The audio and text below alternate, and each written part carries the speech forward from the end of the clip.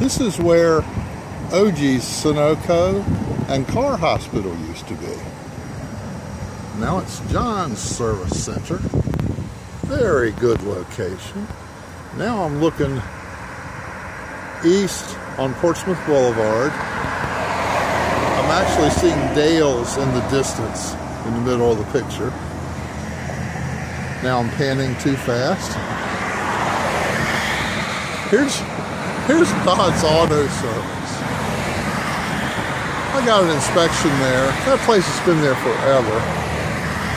Got an inspection there one time with my van, and I I, I was pulling into the garage and I didn't make my turn right and I, I had to back up and, and, and, improve my turning angle and the damn guy was going to inspect me said my daughter could pull that in there in one try and if I didn't fail that inspection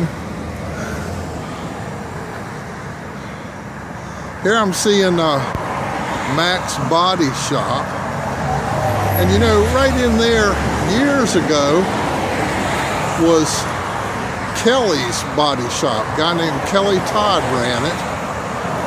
And if you can see the Citgo sign way down yonder, that's one of these little uh, convenience grocery and gas places right where the uh, Naval Pharmacy used to be run uh, by Mr. Goldblatt.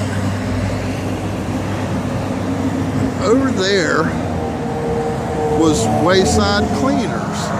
And, and all I'm really seeing there is I'm seeing half of a sign that says, let Joe do it, obscured by a sort of a bus.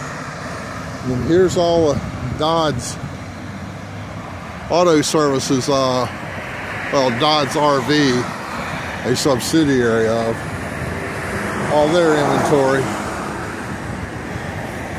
Come back to Portsmouth save on your real estate taxes, buy yourself a nice RV.